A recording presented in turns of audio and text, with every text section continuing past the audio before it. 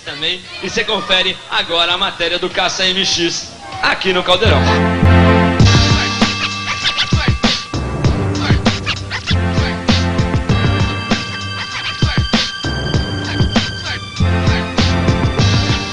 Bem-vindos ao voo da Força Aérea AMX A1, direto da base de Santa Cruz para a base de Santa Cruz. E eu vou mostrar para você em casa o que acontece com uma pessoa normal voando num avião de guerra. Como vocês sabem, o piloto de caça ele voa sentado em cima de uma bomba, né? Este avião não possui nenhuma saída de emergência, única única, para cima. Não tem porta sobre a asa, nem duas à frente, nem duas atrás. Em caso de despressurização da cabine, marcas de oxigênio, não cairão sobre a sua cabeça, porque elas já estão na sua cabeça desde a hora que você decola. Fechado? Essa bomba nada mais serve do que para salvar a nossa própria vida, né?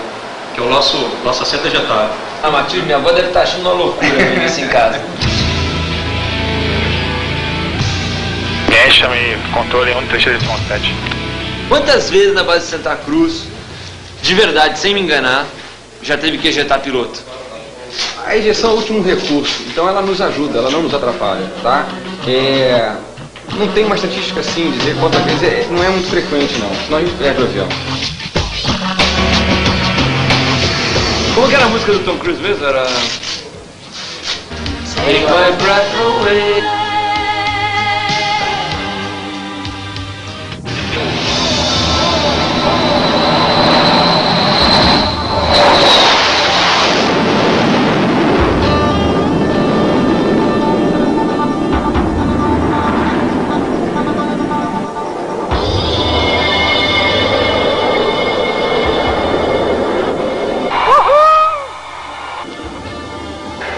Show! Ó, o mundo tá lá pra baixo, ó o mundo lá, ó.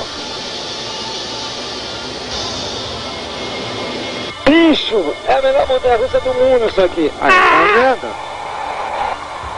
Não vou levantar a mão! Olha lá. Vou remeter pra direita e vou solicitar a descida então. Tá, devagarzinho, né, De Chuchu? novo no normal. Tá tranquilo, não tá? Tô, tô, por enquanto eu tô. Tá vendo o macho aí, né? Tô. Tá contigo aí. Tá comigo? Tá, pe- pega aí o macho. Eu peguei. Ó, minha mão tá aqui, ó. Tá bem. Eu tô pilotando, beleza. Gostou? Nossa! Vai fazer mais umzinho, Bora, bora. e aí tu vai pilotar um pouquinho. Tá bom. Vamos rodar o negócio aí. Douglas, eu vou dar uma subida e vou experimentar fazer mais um loop, ok?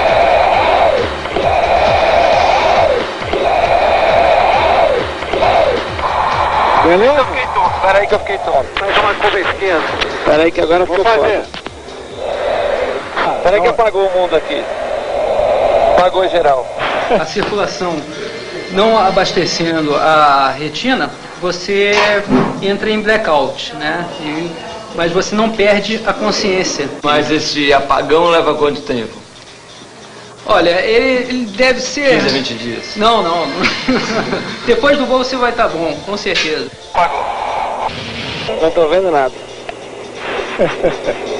Não gostou desse não? Não, isso não precisa fazer de novo, não. Peraí que agora eu tô suando. Chega de rodar agora. Como é.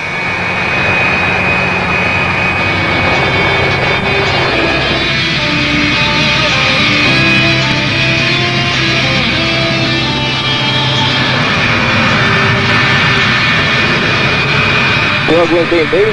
Pô, tranquilo, cara.